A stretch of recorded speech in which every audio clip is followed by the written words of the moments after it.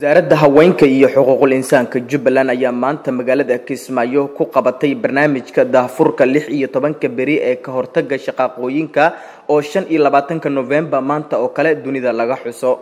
Munaasabadan oo ay soo qabanqaabisay wasaaradda haweenka jubbaland ayaa waxaa kala qayb qaadanayay hay'adaha caalamiga ah ee ka howlgala jubbaland waxaana ka soo qaybgalay wasiiro xildhibaano odayaal dhaqameed haween iyo dhalinyaro barnaamijka oo looga hadlayay tacadiyada loo geysto haweenka ayaa waxa uu socon doonaa shan iyo toban maalin waxaana wasaaradda haweenka jubbaland kala qayb qaadanayo wasaaradaha kale ah cadaaladda caafimaadka howlaha guud dhalinyarada iyo amniga.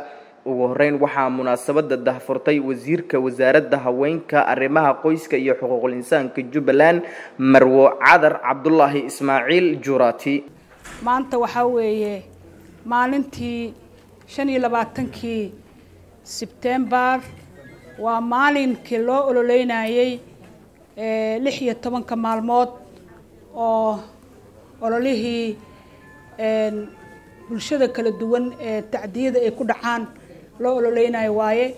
Marka saa darteed waxaan rabaa qof walba oo meeshaan jooga doorka uu ku leeyahay inuu ka qaato. Markaan barnaamijka sii dhex galo waxaa weeye lix iyo tobanka maalmood waxay ku astaysan tahay waa maalinka haweenka tacdiyada ku dhaca waa maalinka naafada waa maalinka maxay ahayday carruurta waa maalinkan maxay ahayday aidiska iyo covid nineteen oo hadda nagu soo biiray.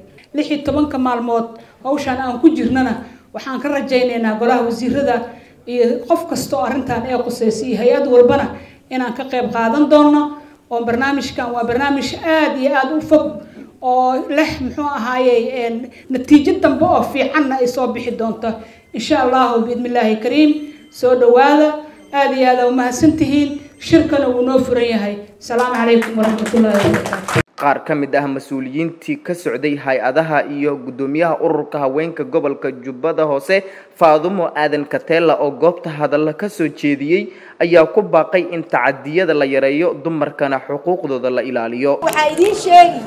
Gabdhaha halla halla gabdhaha loo naxariisto wasiirada cadar waad mahadsan tahay laakiin waxaan kuu sheegi oon wasiiradda u sheegi xilka ugu weyn aduu ku saaran dacwada adaan kuu keenaynaa adiga anigu anagu wasiirada lama hadlayno. Laakiin adaan kula hadlayna. Adaa wasiir noo ah.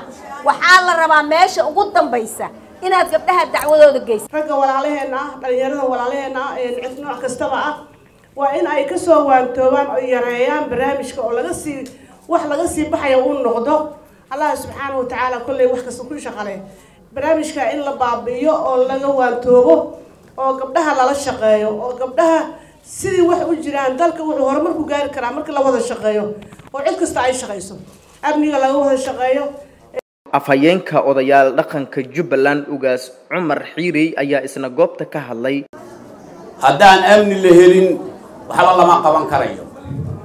Jubbaland waxay ku fiicnayd miraberda duuduub baa loo laqaa. Soomaali ha la gaaro waxa u yaallee ka dhexeeya laakiin jubbaland oo wasiiradanadii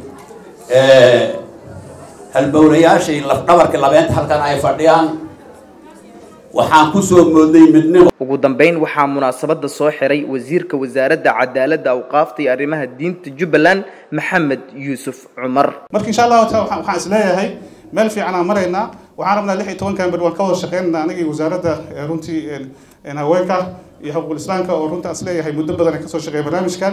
Annaga hay'adaha macnaha iskugu dhownahay barnaamijkan inaan xaqiijino warbixina kala qaadanana goobjoogna waa u noqonaynaa waana kala shaqeynaa insha allahu tacaala waxaan kusoo gabagabeynaa dadka abaaraha ah oo dhibaataysan aan ka faa'iidaysano intaan nool nahay waxa aad jeceshahay walaalka uu jecel yahay wixii aad u baahanta uu baahan yahay aan isku dayna dhaqaalaha waxaynu wax ku baxsano aan aad dareemaha weli focuska inaan intay barnaamijkan jiraan aan xoog u saarno insha allahu tacaala si arrintaas ay xoog u yeelato adduulaheednu aada umahadsantiin waa inoo xiran yahay maanta shirkeena cabdiqaadir axmed cali jubbaland t v kismaayo